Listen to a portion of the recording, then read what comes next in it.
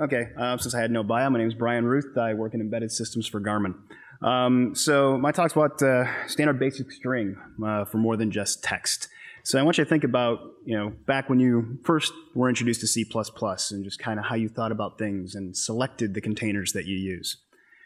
Um, the other subtitle is How to Write Code No One Will Understand. Um, given an arbitrary length list of bit states, modify the list by toggling the state of each bit. Now, if you just start out, the basic choice is always going to be vector because you don't know how long the list of bits is going to be and always choose vector. And a bit can either be on or off, so bool is you know, the obvious representation for it. So that, that gives you something like this. Throw in a nice range for. And yeah, this, this should work, right? Well, mm, this is where you find out about vector of bool. Um, you go to compile it and you get an error like this and it really doesn't tell you why vector of bool doesn't compile, that it's not a container, and that the things that it's returning aren't really bools, they're kind of things that pretend to be bools. But, okay. So, vector of bool aside, why do we choose vector? Why is that the default container, container type? Well, first of all, it's contiguous memory. So, it's easy to allocate, you can iterate through it easier, you can pass it to C functions, it also grows as needed. So if you don't need much memory, you can have it short. If you need more, you can make it longer, and then you can make it short again once you don't need it. And you also can get random access. So it actually plays well with C as well by having pointers to little different parts and you know, playing with the functions like that. So what other container has these properties? I think I kind of buried the lead with the title of it, but uh, standard basic string. Um, it, most people think of it just for character representation, but really it is a templated container that has all those properties. And it turns out, just change the type. It does exactly what you expect it to do.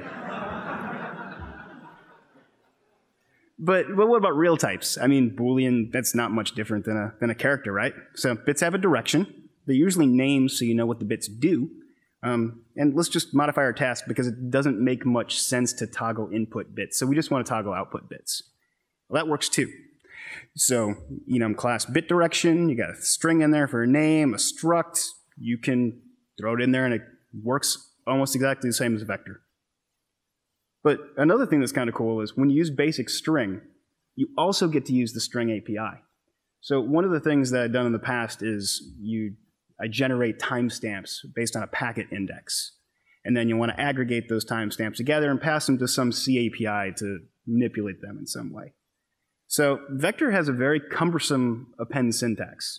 So I couldn't find a way to make it, not using ranges, to not have a named temporary in order to append to a vector. And the slide also demonstrates where I fall on the const and auto side of things. Um, but as you go through, do the inserts, call to C, it works. Changing a vector to a string allows a more straightforward syntax that other languages are used to. So you can actually use the plus equals, you can call it to data, and it really performs just as well as the vector does. But can basic string actually be more performant than a vector? Thank you. Vectors always need to call new and delete if you want to do anything with them. So you can see right here, just creating a vector of points. The size is obviously three, but even with optimizations turned on, you got calls to new and delete. Small string optimization happens even for types that aren't strings. So here it sees right through the fact that there are three points, returns the size as three, compiles down to move as three. So like LLVM and Boost have tried to come up with like, you know, small vector optimizations. Well, string you get it for free. So it's only the beginning of the interesting things that you can do with string. I didn't go into string views or substrings or any of the find and replace type operations. Uh, there's some really cool things you can do when you take basic string beyond text. But uh, I'm not advocating that we get rid of vector, but string's a lot more powerful than people get it credit for.